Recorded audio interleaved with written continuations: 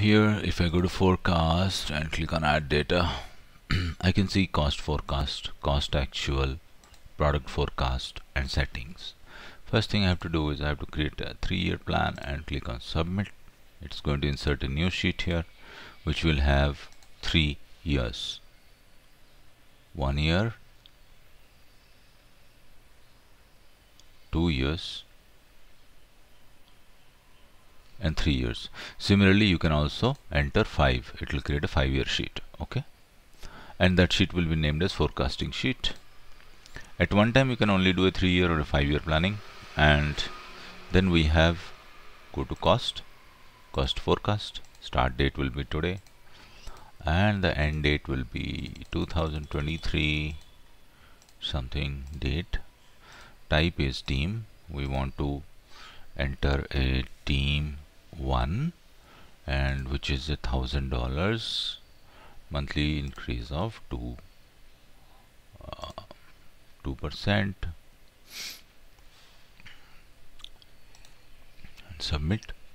So it inserted team 1 okay and thousand dollars till February of 2023 it should go. Till February of 2023 under forecast added okay.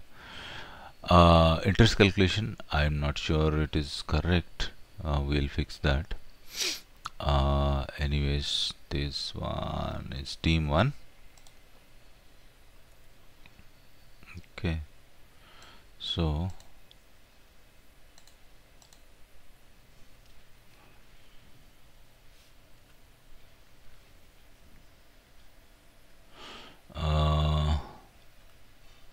that is it. And then we go to another forecast. So we go to forecast add data. And we're going to add under uh, 5 3 4 months we'll add under startup cost. We'll say start one 100 we'll go 3 percent submit. So it's going to add here. 1 2 and 3 4 months. April to July. Okay? Now I go to actual. Okay? Before I go to actual I go to add data. And I go to actual. So cost actual. So for example uh, for this uh, start one right? I want to put the actuals so start date will be in April. And the end date will be 4 months right? So end date will be July.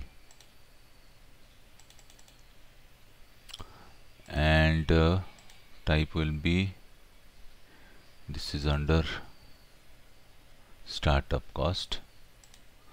So you can see start one is automatically coming. If I select I'll say cost USD uh, actual cost will be let us say 55 okay submitted. Now what happened is under actual it came and it sat okay for four months.